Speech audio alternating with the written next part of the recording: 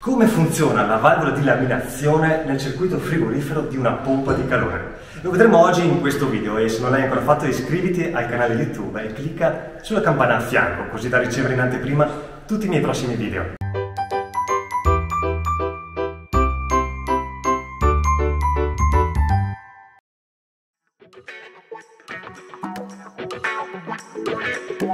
Ciao, oggi siamo qui per vedere nello specifico come funziona la valvola di laminazione in un circuito frigorifero della pompa di calore. Ne prenderemo uno tagliata a metà e vedremo come è fatta al suo interno. Beh, prima di partire però lascia che mi presenti, io sono Samuele e aiuto le famiglie a vivere senza gas, cioè a staccare il contatore del gas e trasformare la casa in 100% elettrica e tutto questo grazie alla rete di installatori partner Sigillo Sicuro. Ah, e se anche tu vuoi trasformare la tua casa in 100% elettrica, vai nel link qui sopra o nella descrizione del video. Oggi vediamo come funziona la valvola di espansione. È un elemento fondamentale nel circuito frigorifero. Perché?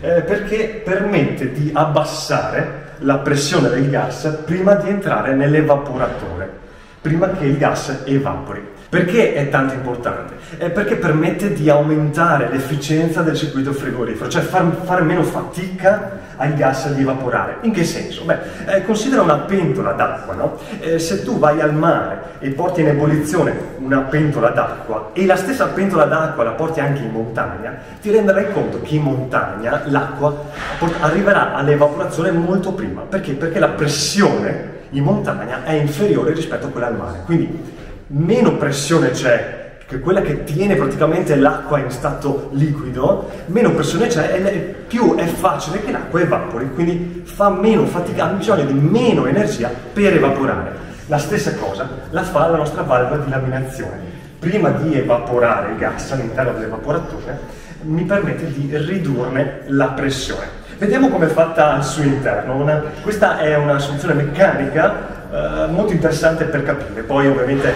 l'evoluzione tecnologica ha portato a valve di espansione un po' più complesse. Eccoci qui con la nostra valva di laminazione tagliata per bene, in modo da capire come funziona. Allora, il componente principale della valvola di laminazione è il capillare. Il capillare è un circuito chiuso, questo è un tubicino forato con la parte terminale ed è tutto riempito di un gas particolare che arriva fino a qua. Acquista Vivere senza gas, il libro fondamentale per la famiglia che vuole trasformare la propria casa in 100% elettrica e dire per sempre addio alle bollette del gas. Cosa fa questo gas? Quando la temperatura cambia, quindi quando riscaldo questo, questo componente, questa parte finale, il gas naturalmente riscaldando aumenta di pressione, no? Pensa alla pentola di pressione che hai a casa, più riscaldi e più aumenta la pressione. Stessa cosa, aumentando la pressione, questo è a contatto con l'evaporatore, tornando nel nostro circuito frigorifero, il capillare va a sentire la temperatura di evaporazione, quindi qui nella batteria prima che andiamo nel compressore. Quindi quando aumenta la pressione qua all'interno, il gas espande e qui c'è una piccola membrana che a sua volta si espande aumentando l'espansione di questa membrana, qui c'è uno spillo che viene premuto e schiacciato a seconda ovviamente di questa pressione e mi permette di aprire o di chiudere un piccolo forellino. In base all'apertura, alla chiusura di questo piccolo forellino avremo anche una pressione diversa in uscita. Immagina no, di avere una tubazione d'acqua, ad esempio, più ci metto un dito davanti al tubo d'acqua e più la pressione sale più invece lascio passare l'acqua e più la pressione invece va a decrescere. Stessa cosa abbiamo qui, nel gas refrigerante che prima di andare all'evaporatore più apro questo forellino e più la pressione decresce, quindi cala, in modo da far meno fatica al gas di evaporare. Ovviamente poi tutto deve essere coordinato e bilanciato affinché funzioni per ottenere COP e prestazione della pompa di calore in maniera ottimale. Quindi l'abbiamo semplificata al massimo, ma tutti i componenti devono essere coordinati tra di loro.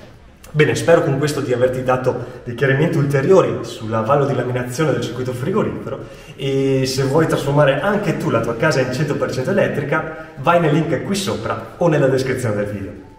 Alla prossima!